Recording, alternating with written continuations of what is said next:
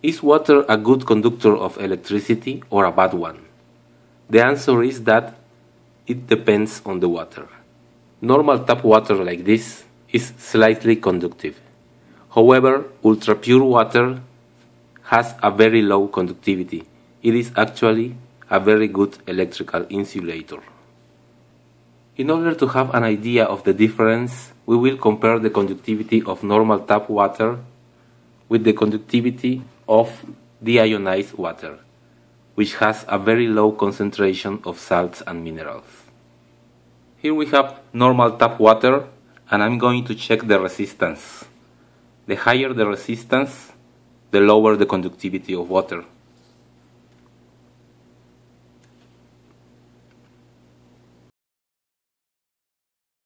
We can see that the resistance is approximately 210 kilo ohms. Now I will repeat the test with deionized water.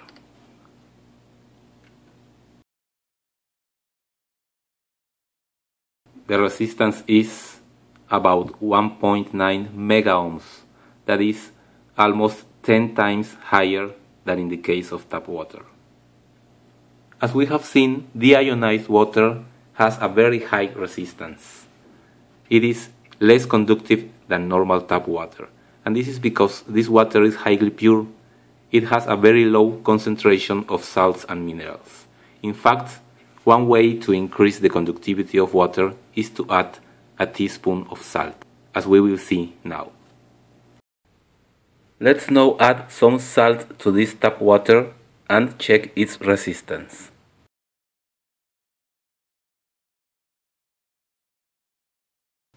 Okay, let's check the resistance of this tap water with salt.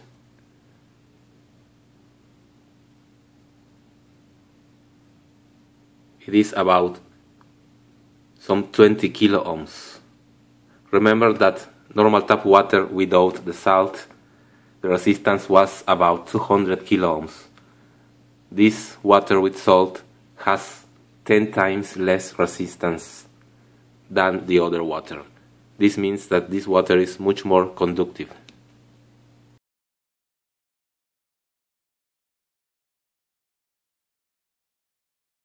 Now in these aluminum sheet terminals I'm going to put about 30 volts and let's see what happens.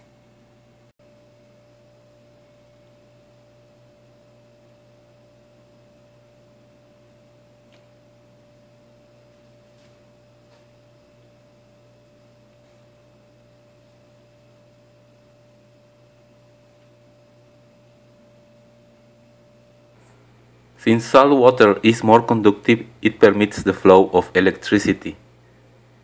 If we measure with a voltmeter, we can see that we have about 7 volts in the water. The voltage is a function of the distance. Less distance gives less voltage.